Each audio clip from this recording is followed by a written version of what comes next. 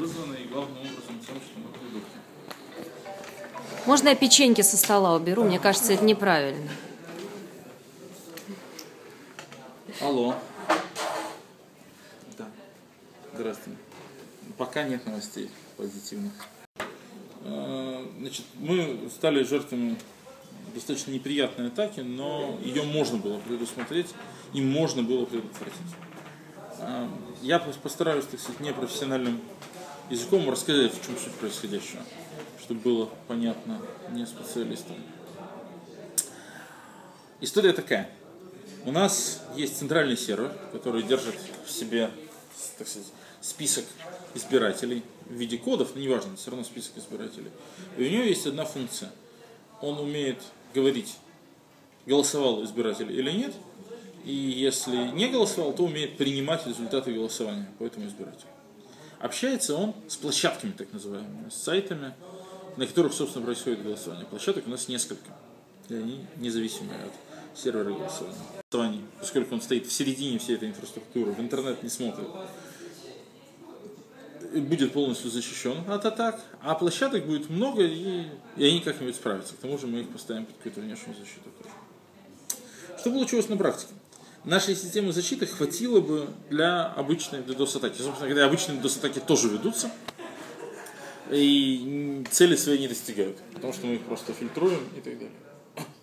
Что такое DDoS-атака, да? DDoS, да? Э, Distributed Denial of Service, распределенный отказ в обслуживании. Э, DDoS это значит вот, создание большого количества мусорных запросов, не настоящих, которые на самом деле не могут быть обработаны. Такого рода мы были готовы, они ведутся, разной интенсивности, мы их успешно отражаем э, с помощью специальных шлюзов, которые, собственно, такие мусорные запросы бывают, умеют распознавать и фильтровать. Чего мы не предусмотрели? Злоумышленники, преступники, поскольку э, DDoS так это уголовное преступление, написали вредоносное программное обеспечение, которое умеет делать что-то более продвинутое, чем просто направлять на наш сайт случайные мусорные запросы. Они э, устроили нам то, что можно назвать программный DDoS. Они заходят на наш сайт, эмулируя нормальные действия пользователя. То есть это не, эти действия не распознаются как DDoS, это не случайный мусор. Вот, это пользователь, робот, который заходит. И этот пользователь пытается связаться с сервером голосования и получить бюллетень для голосования. А, такого польз... При этом система реагирует нормально. Такого пользователя нет, и бюллетень для голосования он не получает. Загружают нам а, тот интерфейс программный сервера а, голосований, который, собственно говоря, ну, грубо говоря, раздает наружу бюллетени, который а, выдает информацию о том, проголосовал пользователь или нет, и принимает назад результаты голосования.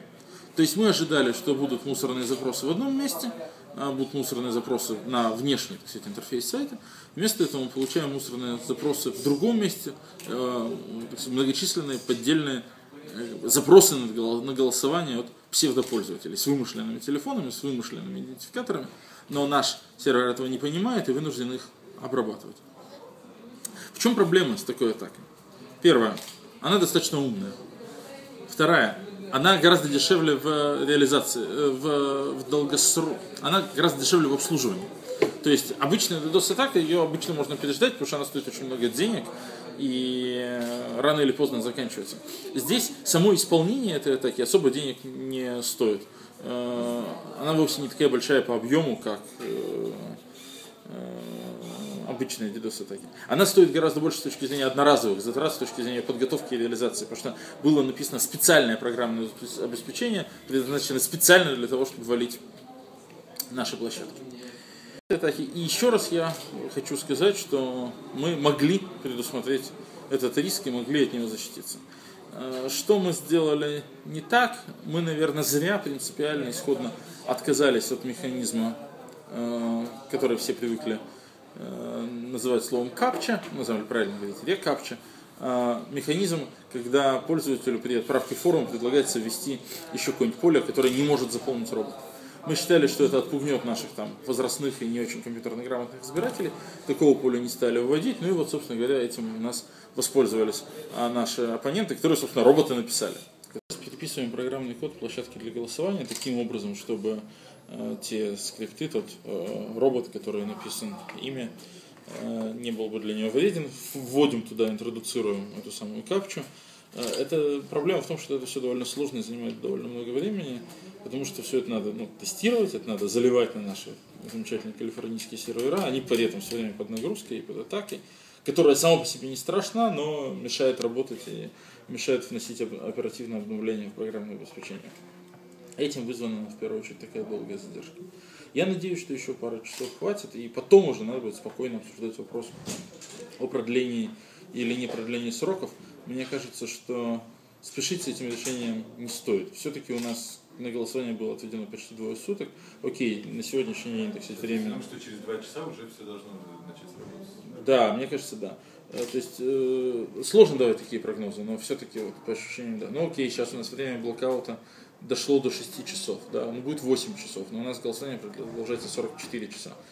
Э, для меня пока еще непонятно, является ли это вот однозначно поводом для того, чтобы принимать какие-то, дергаться, в общем-то, и принимать какие-то решения о продлении. Э, у нас там, сторона заключается в том, что, в общем-то, ну, еще раз показали, что э, вчерашнее заявление кремлевских аналитиков о том, что эти выборы никому не интересны, несколько необоснованно. И большой интерес к голосованию привел, привел к тому, например, что сегодня у нас уже более тысячи человек пришло на избирательный участок, чтобы зарегистрироваться из тех, кто не регистрировался ранее. Я считаю, что все это, почти все это люди, которые приняли свое решение именно под воздействием атак.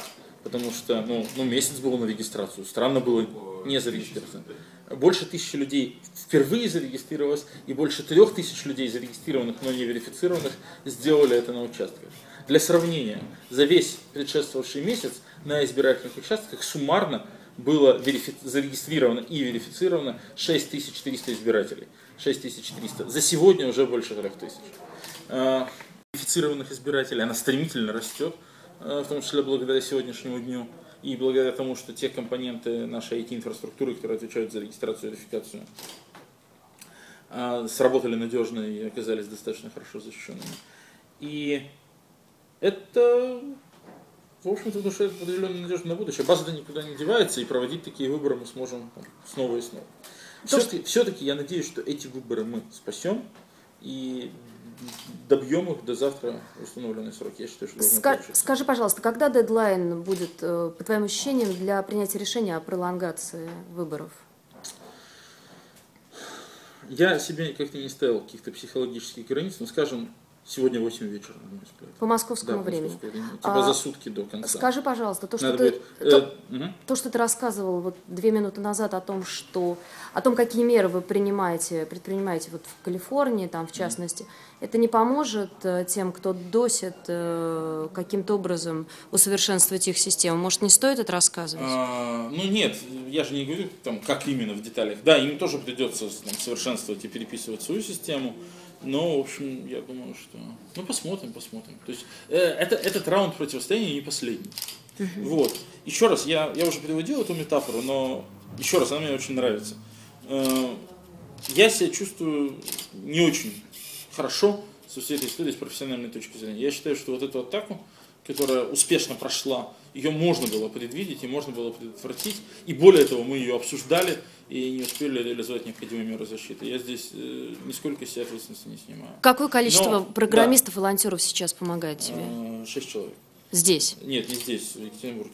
Всего шесть человек? Да, Этого да. достаточно? Ну вот оказалось, что нет. А, вот.